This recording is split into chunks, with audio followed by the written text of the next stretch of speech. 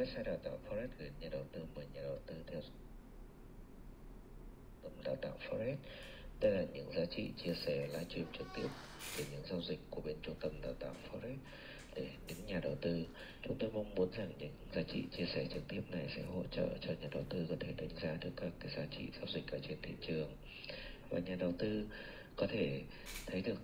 các cái giá trị thực tiễn ở trên thị trường giao là như thế nào và lý do tại làm sao? 95% nhà đầu tư tham gia vào thị trường giao dịch forex lại thua lỗ trên thị trường. Bởi vì đó chính là một vấn đề là người thầy mà chúng ta đang đi kiếm để học những cái kiến thức hay học những cái kỹ năng giao dịch, họ không thể nào chứng minh được cho chúng ta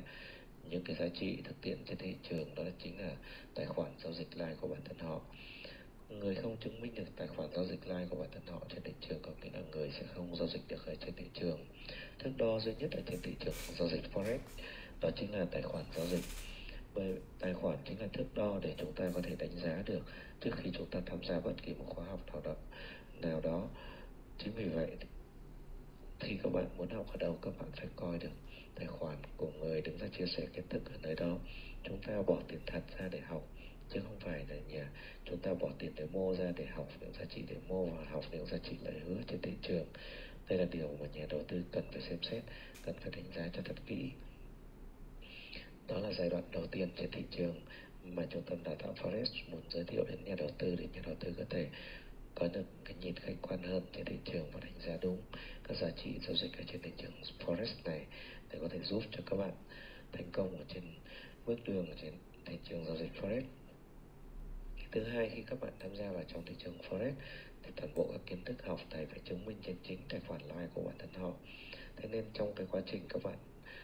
học ở trên ừ, học về cái kiến thức của họ thì họ phải lấy tài khoản của họ ra để họ giao dịch live để minh chứng cho cái điều mà họ đã chia sẻ cho bản thân các bạn đang ngồi nghiền ngẫm để học. Những giá trị đó bởi sau này các bạn sẽ phải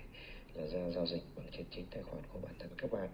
bởi vì tiền các bạn bỏ ra là tiền thật, thế nên không thể nào những kiến thức này sẽ đánh ra trên demo, hoặc là dạy vào thứ bảy, chủ nhật. Đây là điều mà nhà đầu tư cần phải nhìn và xem xét cho thật kỹ. Nếu mà nhà đầu tư không đánh giá được các giá trị này trên thị trường, đây là điều hết sức nguy hiểm để cho các bạn vận dụng sau này vào trong thực tiễn. Chúng tôi mong muốn rằng nhà đầu tư hiểu rõ những giá trị này bởi vì chúng ta mất tiền thật ra học, chứ không phải chúng ta đi học cái giá trị kiến thức để đánh trong đời mô bởi vì không, sau này các bạn, ra vận dụng hiện ngày các bạn sẽ bị tử nạn với những cái kiến thức không áp dụng được vào thực tế. Chúng ta phải biết rằng giữa giá trị sách vở và giá trị thực tế là hoàn toàn hai giá trị khác nhau trên thị trường. Đây là điều mà các bạn cần phải nhìn nhận, xem xét cho thật kỹ. Rồi sau, cái quá trình các bạn tham gia vào khóa học của họ đã học xong rồi, thì tuyệt đối ra không được mở tài khoản giao dịch ngay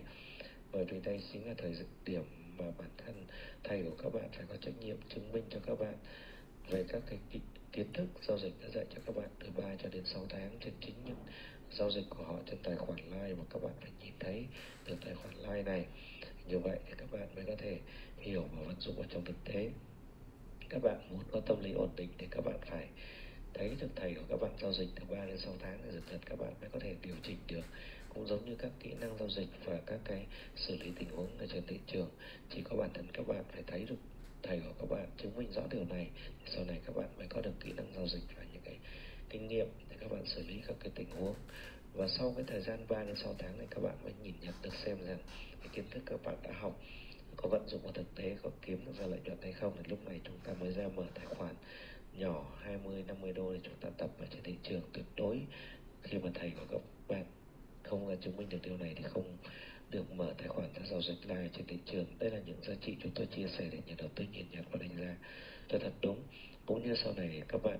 ra ngoài những chiến lược ở đâu thì cũng phải yêu cầu họ qua những cái bước này trên thị trường, chứ không phải chúng ta cứ ra nhận chiến lược một cách bãi trên thị trường mà không có sự chứng minh. Đây là điều nhà đầu tư cần phải xem xét. Đánh giá cho thật kỹ cũng giống như chúng ta đánh tài khoản farm hay là nhà chúng ta đi giao dịch uh,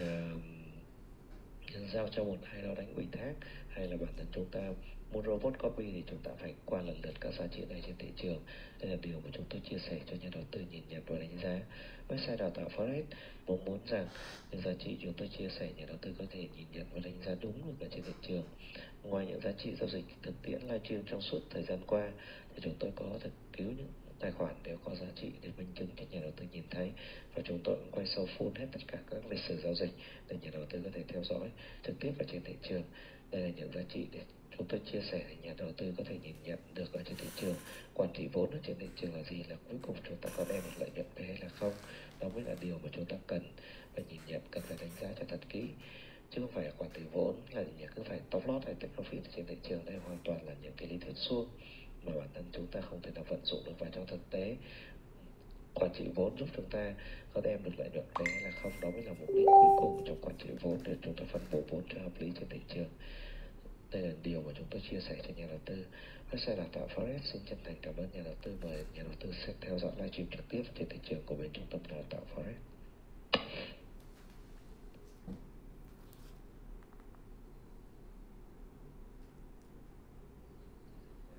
chúng tôi có rất cứu